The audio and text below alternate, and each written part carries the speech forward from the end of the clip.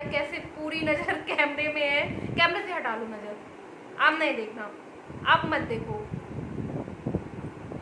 अभी रो रहा था, रोने के मूड में था बट जैसे ही कैमरा देखा ना, एकदम देखो शांत और बीच बीच में स्माइल भी कर रहा है हंस रहा है। हाँ, हंस देख भाई। खुश खुश खुश खुश खुश खुश खुश welcome to my channel glam with Prachi आप सब कैसे हो? आई होप आप लोग बहुत अच्छे होंगे। अभी सुबह का टाइम है और मैं नहा करके आ गई हूँ।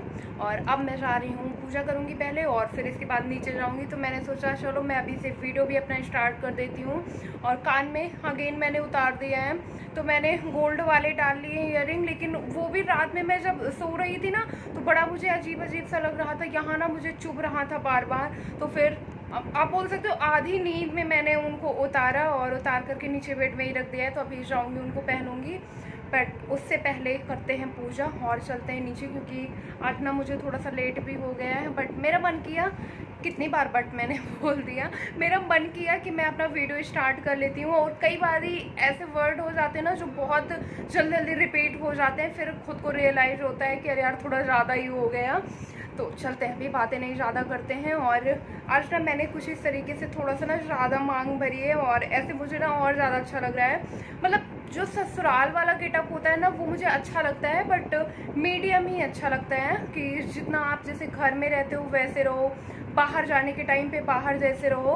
मतलब ऐसे भी नहीं लगता कि मैं घर में हूँ तो बहुत ही एक्स्ट्रा सज जाऊँ या फिर बाहर जाना है तो बिल्कुल सिंपल मुझे मतलब जो जैसे होता है ना, वैसे अच्छा लगता है।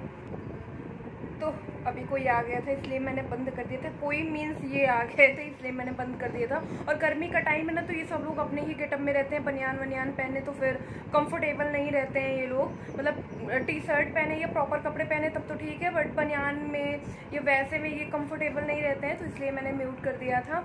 और ये चूड़ियाँ भी ना, जब से मैंने पहना है, तब से पहनी हूँ चेंज नहीं करी बट अच्छा लग रहा है। ऐसे मुझे ज़्यादा अच्छा लग रहा है।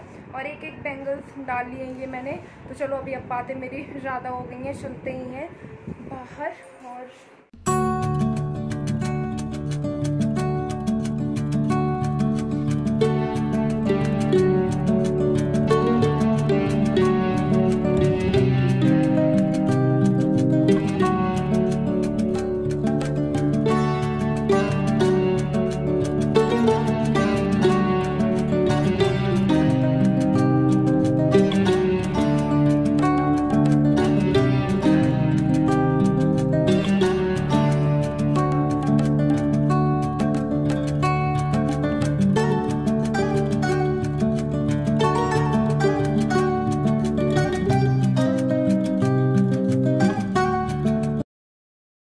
अभी मैं नीचे आ गई हूँ और खाना में आज मैं सरपैता वाली दाल बना रही हूँ। इधर यही बोलते हैं।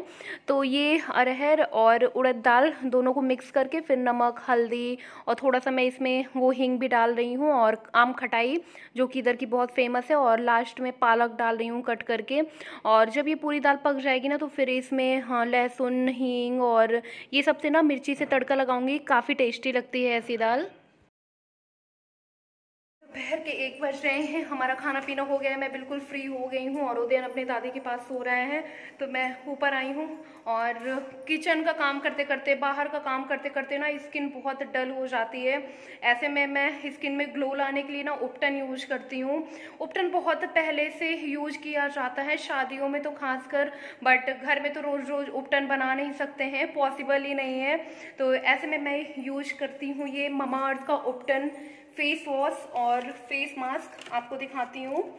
तो ये मैं ममा अर्थ का उपटन फेस वॉश और फेस मास्क यूज़ करती हूँ। पास से आपको दिखा दूँ और फ़िलहाल अभी मैं यूज़ करने जा रही हूँ। सबसे पहले मैं फेस वॉश करूँगी मामा अर्थ के उपटन फेस वॉश से। इसके मेन इंग्रेडिएंट्स हैं हल्दी और केसर, जो पिगमेंटेशन और डार्क स्पॉट को रिमूव करता है और डलनेस को रिड्यूस करता है। जैसे नॉर्मली हर फेस वॉश यूज़ करे जाते हैं, वैसे ही इसको यूज़ करना है और अच्छे से फेस पे लगाने के बाद फिर मैं फेस को वॉश कर लूँगी और ड्राई होने के लिए छोड़ दूँगी। इसके बाद मैं फिर फेस मास्क अप्लाई करूँगी। मेरा फेस ड्राई हो गया है और अभी अब मैं यूज़ कर रही हूँ ये उपटन फेस मास्क जो आता है हल्दी और केसर की गुडनेस के साथ, जो आपको एक नेचुरल ग्लोइंग स्किन देता है। इसके अलावा इसमें है एप्रिकॉट ऑयल ये फेस मास्क स्किन के मॉइस्चर को रिटेन करने में हेल्प करता है और सन टैन को रिड्यूस करता है। ये ऑल स्किन टाइप के लिए सेफ़ है। आप किसी भी स्किन टाइप के हैं, इसे यूज़ कर सकते हैं। और आपको मैं बताऊँ, इसमें कोई भी हार्मफुल केमिकल नहीं है तो आप इसे रेगुलरली यूज़ कर सकते हैं। बेस्ट रिज़ल्ट के लिए वीक में दो बार यूज़ करें। आपको इसे पंद्रह मिनट लगा के रखना है देन वॉश कर लेना है। तो अभी आप भी देख सकते हो, मेरी स्किन पे एकदम शादी वाला ग्लो आ चुका है। तो आप भी ऐसी हेल्दी स्किन चाहते हैं ग्लोइंग स्किन चाहते हैं तो इसे ट्राई कर सकते हैं। इसका लिंक मैंने अपने डिस्क्रिप्शन बॉक्स में प्रोवाइड कर दिया इन प्रोडक्ट का तो आप लोग मेरे लिंक के थ्रू जा करके इनको ले सकते हैं बाय कर सकते हैं। और हाँ मैं आपको बता दूँ ममा अर्थ के जब भी आप कोई प्रोडक्ट को बाय करते हो ना तो आपके ऑर्डर को इनके वेबसाइट पे एक नए लगाए गए ट्री के साथ लिंक कर दिया जाता है। इस तरीके से इनका वन मिलियन ट्री लगाने का एम है और ये प्रोडक्ट आपको अमेजोन नायका ममा अर्थ की वेबसाइट और ऐप पे अवेलेबल है, वहाँ मिल जाएँगे। आपको मैं पास से दिखा देती हूँ, ये ममा अर्थ का उपटन फेस वॉश है और ममा अर्थ का उपटन फेस मास्क है। तो अगर आप लोग मेरा coupon code G P two thousand twenty two use करते हैं तो आपको ट्वेंटी परसेंट का डिस्काउंट भी मिलेगा इसमें। आ गई हूँ और दिखाती हूँ आपको उदयन को। वो तो आज तुम्हारी चोटी सबको दिखा देते हैं। ये देखो, ये ये लड़की आ गई क्या? ये लड़की आ गई क्या? आज इसने ना लड़कियों वाला कपड़ा भी पहना है। आज इसने चोटी भी करी है। लड़की लग रहे हो क्या? अब इसकी कैमरे से नज़र नहीं हटने वाली। मेरी कैमरे से नज़र हट जाएगी बट इसकी नहीं हटेगी। पता नहीं, आजकल के बच्चे ना, पेट के अंदर से ही सब कुछ सीख करके आते हैं, फ़ोन वाला। हाँ जब ये दो महीने का था ना, तब भी फ़ोन की तरफ़ बहुत गौर से देखता था, अब तो बहुत ही ज़्यादा देखता है। ट्राई करते हैं कि इसको फ़ोन से दूर रखना है, लेकिन आजकल के बच्चे हैं ना, जो फ़ोन के मामले में, देख रहा और हंस भी नहीं हो गया भाई। पूरा का पूरा लड़की लग ही नहीं सकता कि लड़का है। क्यों? आज तो तुम लड़की लग रहे हो। तुमको कोई समझ ही नहीं पाएगा कि तुम लड़की नहीं हो, लड़का हो। आज मेरा उद्दू लड़की बनाएगा? ये देखो, ये लड़की आ गई। हाय कर लो सबसे। हाय। और पता है, सब लोग कहते हैं कि दिखाया करो इसको। जब याद रहता है तो दिखा देती हूँ, जब नहीं याद रहता तो नहीं दिखाते।